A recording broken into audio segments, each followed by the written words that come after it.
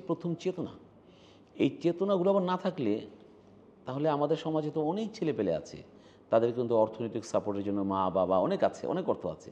ধনীদের কথাই বলি কিন্তু সচ্ছল ফ্যামিলিগুলো তারাও কিন্তু সফল হচ্ছে না। কারণ তার পিছনে চেতনার প্রবলেম আছে। তা আমি বলব যে, আসলে আমার এই সাফল্যের পেছনে যে আমাকে চেতনা দান করেছে, সে হচ্ছে আমার মাসুদ ভাই, আমার বড় ভাই এবং আমি তার কাছেই ঋণী।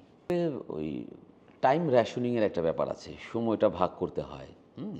এটা খুব একটা সমস্যা হয় না, কারণ ঘুরে ফিরে তো সবারই চব্বিশ ঘণ্টা, আর সে তো পুলিশে চাকরি করে যদিও যদি সে মানে ফিল্ড লেভেলে কাজ করতো বা অপারেশন লেভেলে ধরে যে একটা থানার দারোগা বা ওসি এই লেভেলে কিন্তু সে তো একটু যেহেতু উচ্চ, একটু উচ্চ লেভেলে একটু একটু ইয়ে সুপারভিশন লেভেলে এই জন্য তার একটু ঝামেলাটা কম হ্যাঁ?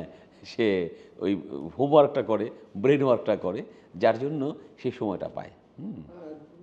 এটা তো খুব স্বাভাবিক। পৃথিবীতে সব মেয়েরা ভালো আর সব ওয়াইফরা হচ্ছে দারোগা। মানে ওয়াইফ হয়ে যাওয়ার পর সে দারোগা হয়ে যায়। তখন তো সে ভয় তো দেখাবেই।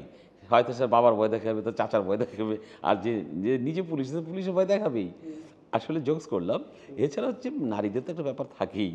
নারীরা সবসময় একটু আতঙ্ক সৃষ্টি করে অবস্থান সৃষ্টি করার একটা পায়তারা করে। তো বউ হিসাবে এটা তার অধিকার আছে। মানে সি ডিজার্ভস আমি এই আমার সমগ্র শক্তি টুক্তি দিয়ে তাদের একটাই চাওয়া। সেটা হচ্ছে তুমি আমার পাশে থাকো। তুমি আমাকে ভালোবাসো। তো এটার জন্য তারা অনেক কিছুই করে। তো ওই ভয়টা তো আমরা মাঝে মাঝে আমি, আমার পেতেই হয়।